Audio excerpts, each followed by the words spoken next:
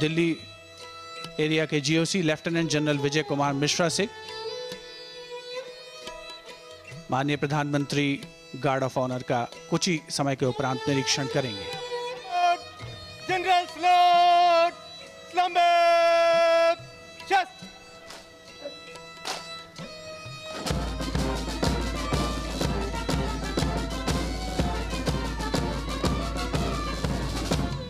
सेना पुलिस सम्मान गार्ड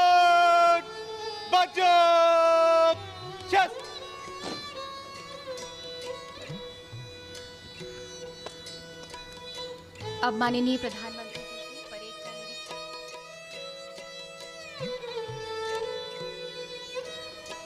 श्रीमान अंतर सेना पुलिस सम्मान गार्ड आपके निरीक्षण के लिए हाजिर है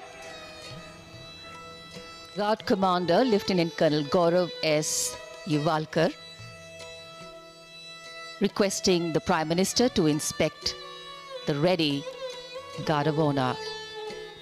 And as the inspection starts, the band positioned there will strike up a slow march.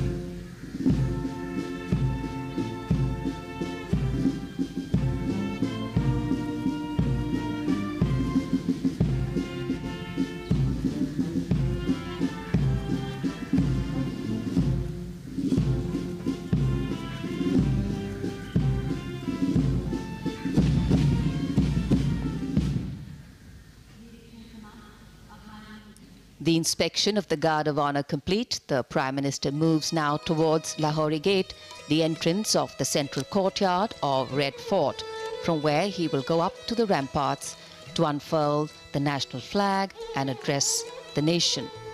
सम्मान गारद का निरीक्षण करने के बाद माननीय प्रधानमंत्री लाल किले की प्राचीर की ओर प्रस्थान कर रहे हैं लाल किले का भव्य और विशाल लाहौरी दरवाजा जो कई ऐतिहासिक घटनाओं का साक्षी रहा है। 41 फीट ऊँचा और 24 फीट काश माननीय प्रधानमंत्री महोदय का प्राचीर पर आगमन होता हुआ, राष्ट्र के संबोधन के लिए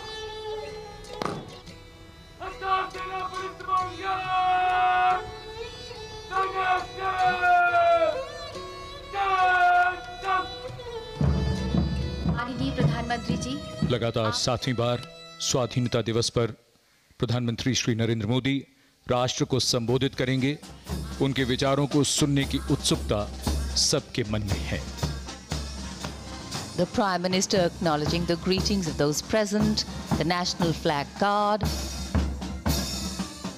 on its way out from across the ramparts. And in a short while from now, the Prime Minister will address the nation from the historic Red Fort, this rare living symbol telling its own story.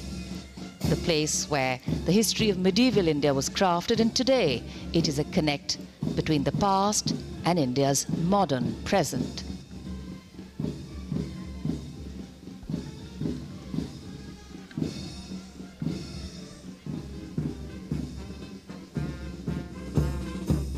राष्ट्रीय ध्वजारोहण गारद के सजीले जवान रवाना हो रहे हैं समारोह स्थल से। इसमें शामिल थल सेना का प्रतिनिधित्व इस बार किया। प्रथम गोरखा राइफल्स ने, क्योंकि पांचवी बटालियन जिसमें भाग ले रही थी, इसकी स्थापना 1942 में धर्मशाला में की गई।